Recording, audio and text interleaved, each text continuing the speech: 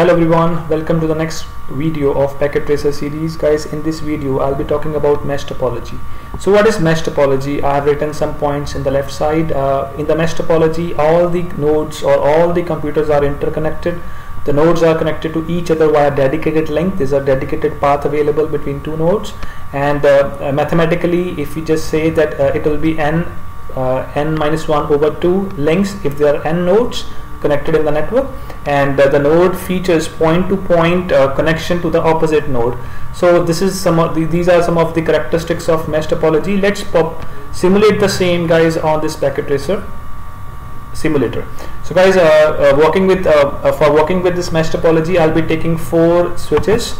So I'll be making use of the simple 2960 series. I'm taking it like in this fashion in which I need to connect all the four uh, uh, switches together to, to form a mesh.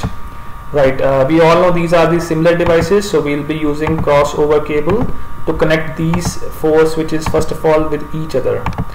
All right first link done second link done.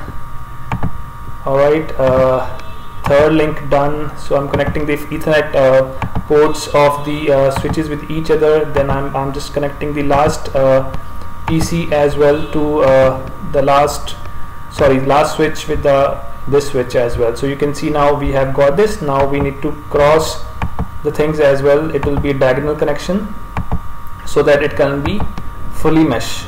So I'm just connecting this with the this switch as well. You can see now all the connections are been done. Let's add the end devices your PCs so first PC here second PC maybe here third PC here and uh, the last PC is here. We all know the PC and the switch are different devices so we need to make use of straight through cable and we are connecting through the ethernet port so I'm, I'm just the first PC is done second PC is done as well alright so third PC to this switch I'm connecting the ethernet ports of both the devices together and last is another switch with the last PC so I'm done with all the connections. All the wirings has been done.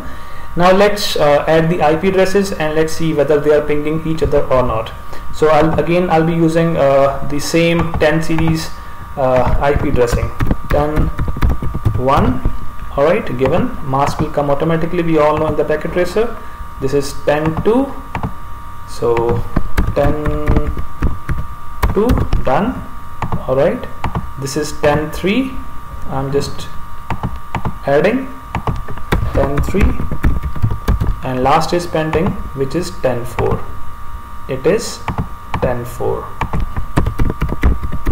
alright done. So all the four IPs all the four PCs are being assigned IPs so guys now let's see whether they are pinging each other or not then it will be proven that uh, the devices are working fine or they are communicating with each other right? So I'll be pinging maybe 10 4 from here. So you can see now I'm getting the four replies as usual. So I'm getting 0% loss. So guys this actually proves that uh, like the, the network is working fine. So and this marks the video uh, end of the uh, video as well so guys uh, in the next video I'll be talking about the other topology and uh, the rest of the concepts will be covering up in the upcoming videos as well. Thanks for watching guys. See you in next video